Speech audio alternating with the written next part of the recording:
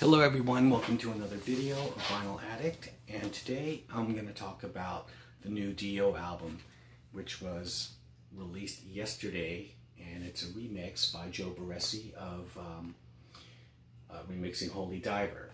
Now uh, first off, um, this is not to say which one is better, the old original version or this version. Um, the material is the same it's just a different listening experience. Um, now, some bands have, you know, taken their old albums and remixed them, or someone's come in and remixed them, and um, the end result was way better.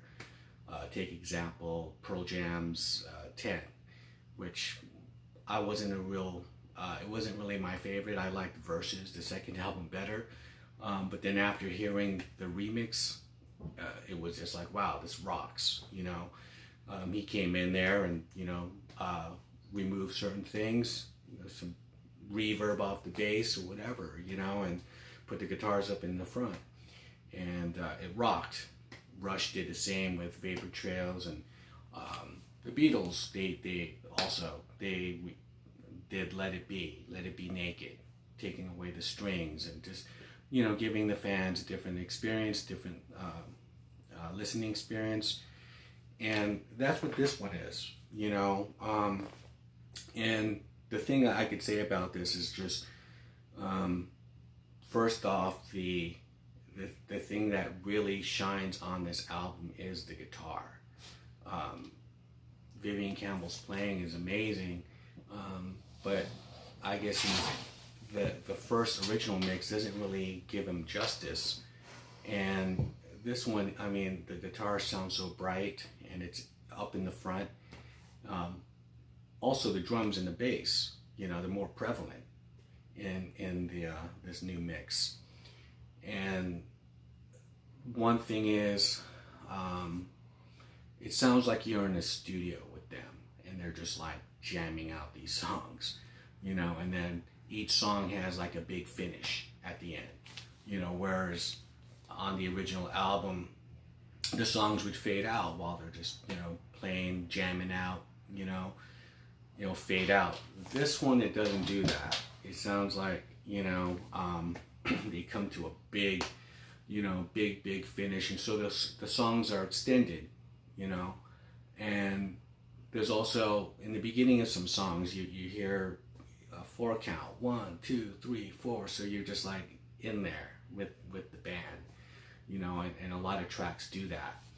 Um, and i know that dio was more um, uh, for you know for listening to his albums is, is, is like an escape he's all about fantasy and everything.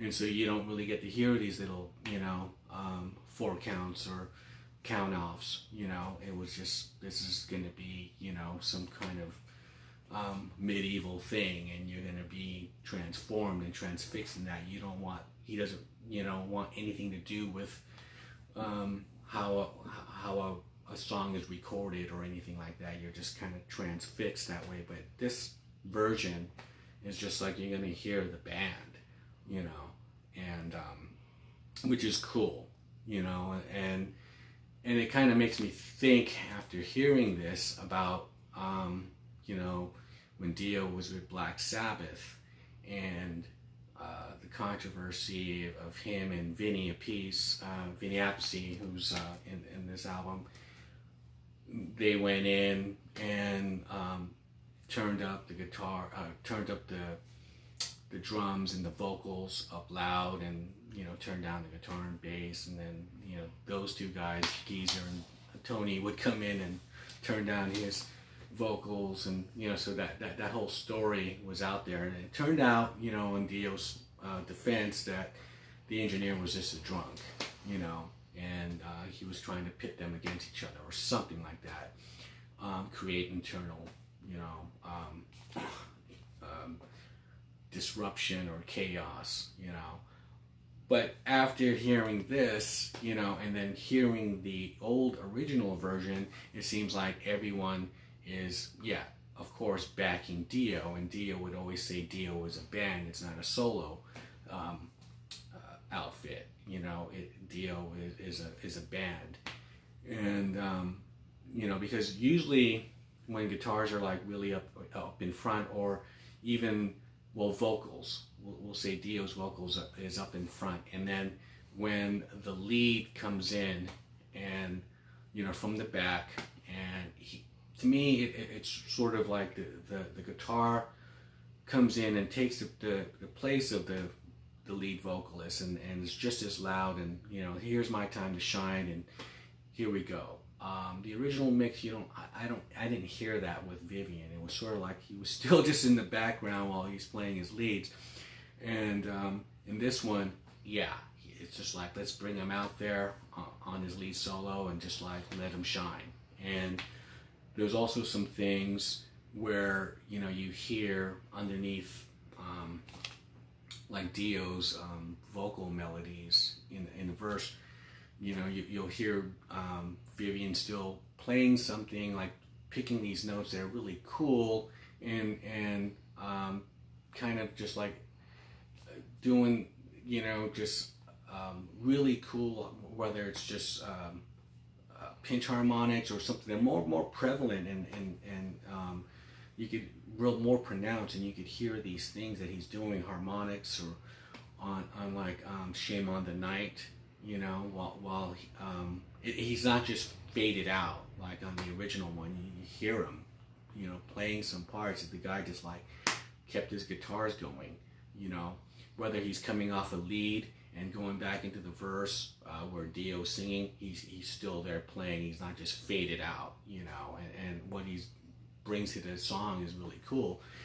And that's why, why I feel like, okay, well, Dio was just like, we'll just fade him out and then here's me again. But, um, and, you know, I guess that, that comes from like being around uh, uh, Tony Iommi and uh, Ritchie Blackmore, you know, now that he's at the helm of everything, he's like, screw that, you know. Um, and I think it, it because of that, um, not that the, the music suffered, you know, that was Dio's vision, you know.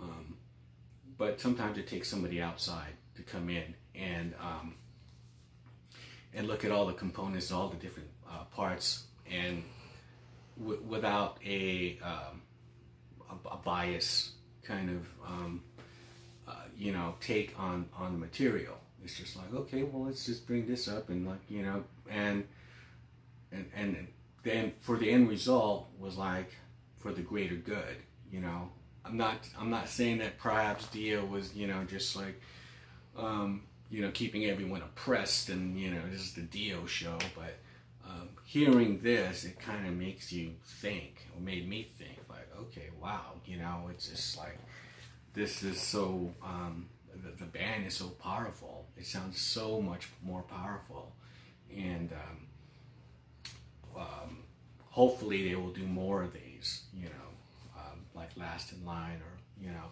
and um, there's an extra song on here, Evil Eyes, which was um, on the second album. And for some odd reason, I, it's a, it's, it was a B-side here. So I guess it goes back, you know, to that time. And he just, you know, put it on the second album. But it's not remixed by the guy who did this whole album. And so here's the original. They also changed, of course, the, the album cover. Here's the original one. And the back.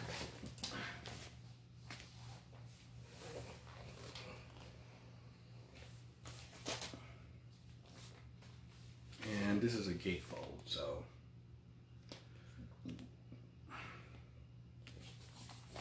Um, but overall, I guess um, I, I, would have to say that I'll be listening to this one more.